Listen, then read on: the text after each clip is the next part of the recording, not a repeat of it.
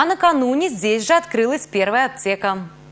Почти 7 километров. Такое минимальное расстояние приходилось преодолевать жителям нового города, чтобы купить необходимые лекарства. Вынужденные поездки доставляли массу неудобств.